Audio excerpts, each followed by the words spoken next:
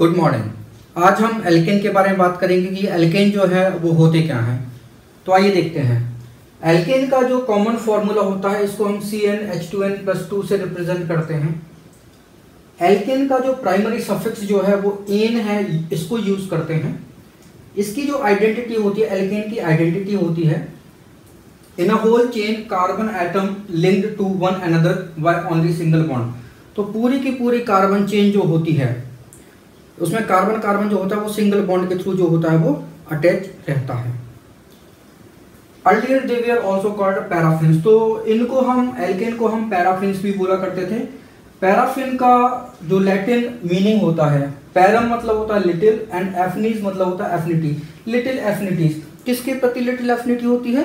Chemical reagent के प्रति इनकी लिटिल एफिनिटी होती है। ये केमिकल रिएजेंट के प्रति इनर्टनेस शो करते हैं। इसका मतलब है ये केमिकल रिएजेंट से ऑलमोस्ट कोई रिएक्शन शो नहीं करते। तो जो पैराफिन्स का मतलब होता है inert toward most of the chemical reagent तो most of the chemical reagent के प्रति जो होते हैं, ये इनर्ट होते हैं, कोई रिएक्शन शो नहीं करते। इसलिए इनको हम पैराफिन बोला करते थे। तो ये एल्केन का common formula C N H two N plus two है। तो अगर हम एन इक्वल टू हम कहते हैं कि ये वन कार्बन के लिए बात कर रहा है वन कार्बन है तो वैल्यू पुट कर देते हैं तो C one H two N plus one plus two तो ये हो जाएगा सी एच फोर तो एक कार्बन है तो एक कार्बन को हम प्रीफिक्स जो होता है वो मैथ हम पहले बता चुके हैं। और इसका जो प्राइमरी सफिक्स होता है वो होता है इन तो इसका जो नाम होगा, जो आईयूपीसी नेम होगा, इसको हम बोलते हैं, ये मीथेन बोला जाएगा। अगर हम n इक्वल टू क्या करते हैं? टू लिखें तो क्या होगा? इसमें वैल्यू पुट करेंगे तो C two H two into two plus two तो ये हो जाएगा सी टू एच सिक्स दो कार्बन है तो इसका जो प्रीफिक्स होता है वो एथ होता है। और प्राइमरी सफिक्स इसका एन लिखा जाता है एल्केन सीरीज़ का है। इसलिए ये हो जाएगा एथ एन अगर एन इक्वल टू हम लिखेंगे थ्री तो ये हो जाएगा C three H two into three plus two तो ये हो जाएगा सी थ्री एच एट हो जाएगा। तीन कार्बन है तो उसको हम बोलते हैं प्रो प्राइमरी सफिक्स होता है एन तो ये हो जाएगा प्रोपेन इसके बाद हम एन इक्वल टू फोर रखेंगे तो ये सी फोर एच टेन हो जाएगा, ये फोर कार्बन होगा तो बोले जाएगा but plus n butane n equal to five रखेंगे तो ये सी फाइव एच ट्वेल्व होगा, ये pent plus n pentane n equal to six रखेंगे तो सी सिक्स एच फोर्टीन होगा हेक्स प्लस एन हेक्सेन होगा इसका नाम. एन इक्वल टू सेवन रखेंगे तो सी सेवन एच सिक्सटीन तो हेप्ट प्लस एन तो इसका I P C name heptane होगा। एन इक्वल टू एट रखेंगे तो C eight H eighteen oct plus n octane n equal to nine रखेंगे तो C nine H twenty non plus n non n n equal to ten रखेंगे तो C ten H twenty two dec plus n decane तो ये one two ten carbon जो है, इसके alkene series के जो मेंबर हैं, वो हमने एक से दस जो है, वो लिख दिए। आइए अब इनके हमें क्या करना है? इनका हमें structural formula and condense formula ये लिखना है। ये सारे के सारे जो होते हैं, ये वाले मोलिकुलर फार्मूला होते हैं। अगर आप इसमें देखो तो कार्बन फोर है हाइड्रोजन टेन है। मतलब कार्बन का डबल प्लस टू ऐसी फाइव डबल है टेन प्लस टू ट्वेल्व हो गया। सिक्स का double twelve plus two fourteen हो गया। सेवन का डबल प्लस टू सिक्सटीन हो गया। एट का डबल प्लस टू एटीन हो गया, नाइन का डबल प्लस टू ट्वेंटी हो गया, टेन का double plus two twenty two हो गया। अब सपोज़ हमें हेक्सेन है। ये जो हेक्सेन है, इसका मॉलिकुलर फॉर्मूला क्या होगा तो लिखते हैं मॉलिकुलर फॉर्मूला। ये होगा सी सिक्स एच फोर्टी ये मॉलिकुलर फार्मूला होता है। अब इसका स्ट्रक्चरल फार्मूला बनाते हैं। तो कार्बन कितने हैं? सिक्स कार्बन है। तो one two three four five six carbon हमने लिख दिए कार्बन की हमें पता है कि कितनी बैलेंसी होती है? फोर बैलेंसी होती है। तो इस कार्बन की भी फोर बैलेंसी लिखते हैं यहाँ भी फोर बैलेंसी लिख देंगे। इसकी भी फोर बैलेंसी लिख देंगे। यहाँ भी फोर बैलेंसी शो कर देंगे। यहाँ भी फोर बैलेंसी जो है वो कार्बन की बता देंगे। अब कार्बन कार्बन क्या है? एन है मतलब सिंगल बॉन्ड है कार्बन कार्बन के बीच तो हमने सिंगल बॉन्ड जो है वो बना दिया।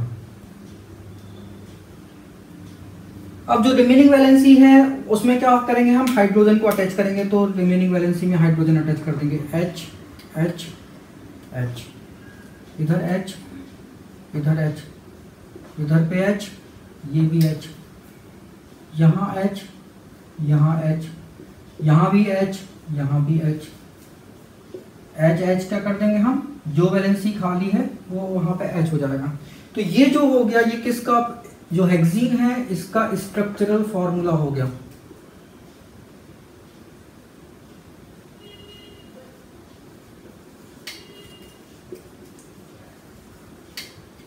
ये स्ट्रक्चरल फॉर्मूला हो गया। अब हमें क्या करना है? कंडेंस फॉर्मूला जो है वो लिखना है।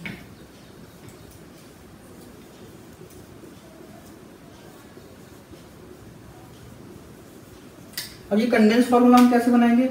अब देखो यहाँ पे इस कार्बन से कितने हाइड्रोजन है? थ्री हाइड्रोजन तो हम इसको लिखेंगे सी थ्री फिर ये बॉन्ड है तो हम यहाँ बॉन्ड लगाएँगे।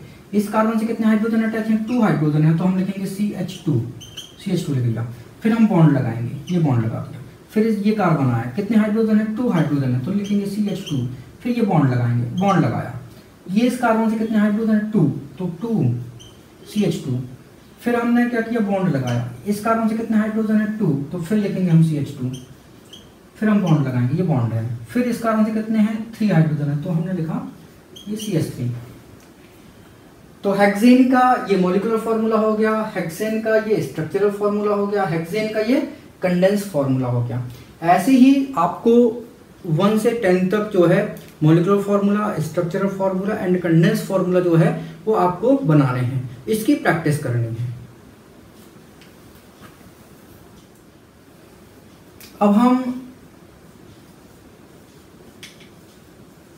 जो ब्यूटेन है, इसके लिए हम मॉलिकुलर फॉर्मूला लिखेंगे। इसका मॉलिकुलर फॉर्मूला क्या होगा तो देखते हैं। ये मॉलिकुलर फॉर्मूला ये लिखा जाएगा, ये होगा सी फोर एच टेन इसका अगर हम स्ट्रक्चरल फॉर्मूला बात करें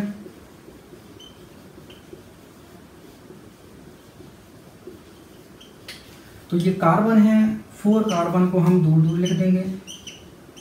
और कार्बन की बैलेंसी कितनी होती है? फोर बैलेंसी होती है तो हमने कार्बन की फोर बैलेंसी जो है वो हम लिख देते हैं। सो कर दिया।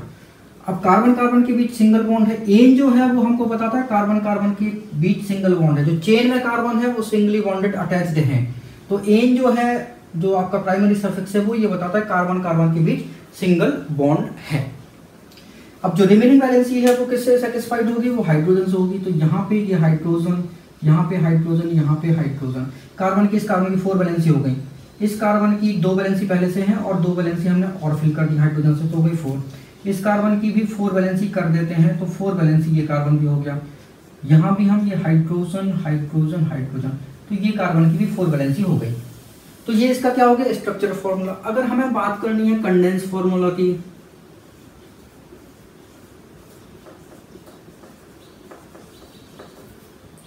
अगर हम बात करते हैं किसकी? कंडेंस फॉर्मूला की। तो किसका कंडेंस फॉर्मूला हम कैसे लिखेंगे? ये कार्बन है, इस कार्बन से तीन हाइड्रोजन अटैच है तो इसको हम लिखेंगे सी एच थ्री ये बॉन्ड बनाया तो हमने बनाया बॉन्ड इस कार्बन से कितने हाइड्रोजन अटैच है? टू तो लिखेंगे सी एच टू फिर बॉन्ड बनाया, फिर इस कार्बन से कितने हाइड्रोजन अटैच है? टू तो हमने लिखा सी एच टू फिर हमने बॉन्ड बनाया, फिर इस कार्बन से कितने हाइड्रोजन अटैच है? थ्री तो सी एच थ्री तो ये ब्यूटेन का क्या हो गया? ये कंडेंस फॉर्मूला हो गया। तो अब आपको सारे जितने भी जो आपको मेंबर होते हैं एल्केन सीरीज़ के उन मेंबर के आपको आ, आपको molecular formula structural formula and condense formula बनाने की आप प्रैक्टिस करोगे। ये प्रैक्टिस जो होगी आपको आई नेमिंग में काम आएगी। अगर आप ये प्रैक्टिस नहीं कर रहे हो इसका मतलब है कि आई नेमिंग जो है वो आपको इस जन्म में तो नहीं आ पाएगी ये तय है। Thank you so much for watching this video अगर आपको हमारा वीडियो अच्छा लगा है तो आप इसको प्लीज़ लाइक करें, इसको शेयर करें। अगर आपने हमारे चैनल को अभी तक सब्सक्राइब नहीं किया है तो प्लीज़ उसको सब्सक्राइब करें। और साथ ही साथ इनकी प्रैक्टिस करें। स्ट्रक्चर फॉर्मूला बनाना है कंडेंस फॉर्मूला लिखना है, इनकी प्रैक्टिस करें। Thank you once again for watching this video